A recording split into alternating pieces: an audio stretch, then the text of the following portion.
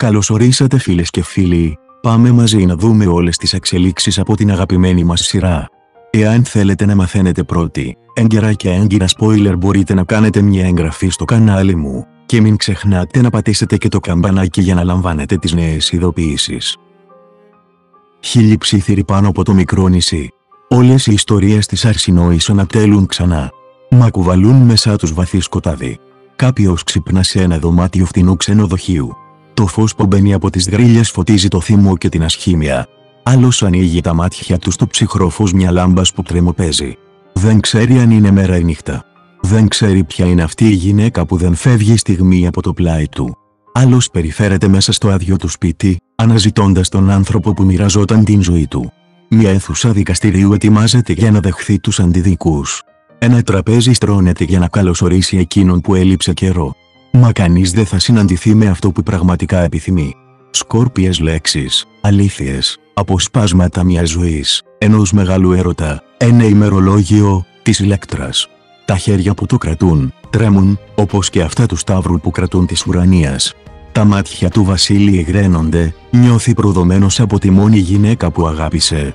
Της είπα να προχωρήσει και προχώρησε μονολογή τα χέρια του δεμένα μπροστά στη μοίρα του, όπως και αυτά της Τιτίκας, που βρίσκεται σε ένα σκοτεινό δωμάτιο δεμένη, φημωμένη, τερμοκρατημένη.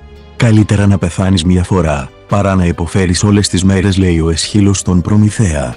Η μοίρα όμως χτυπά για μια ακόμα φορά την πόρτα του σωτήρι.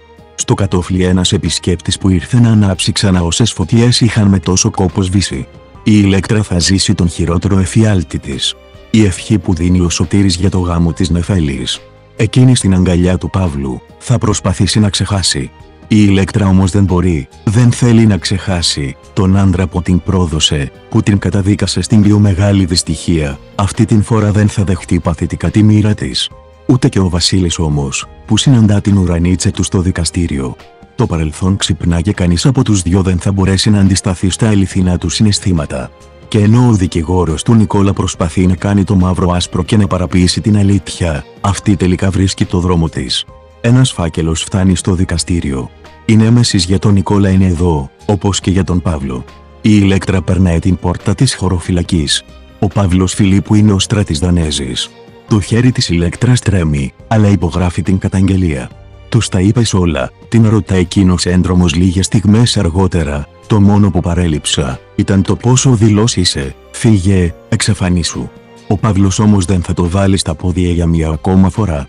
Είναι αποφασισμένος να μην προδώσει την εφέλεια έστω και αν αυτό σημαίνει ότι θα βρεθεί στο απόσπασμα. Δεν είναι ο μόνος όμως που κινδυνεύει. Άρχισε να ψάχνεις τα τελευταία σου λόγια και κοίτα να είναι της προκοπής, λέει υπογρύσει του Νικόλα.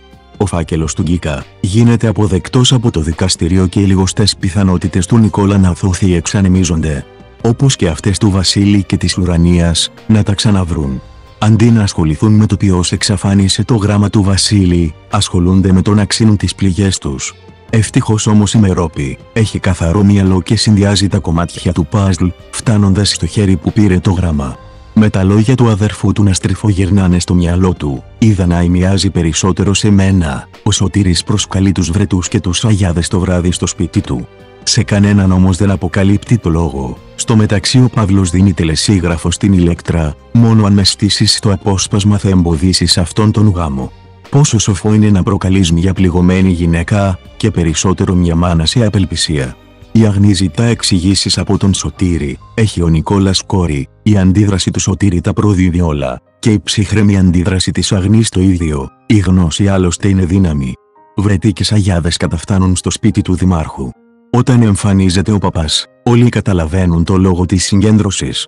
Η ηλέκτρα χάνει τον κόσμο, έφτασε η στιγμή να αραβωνιάσει την κόρη της με τον Παύλο. Φίλες και φίλοι, τα λέμε στο επόμενο βίντεο.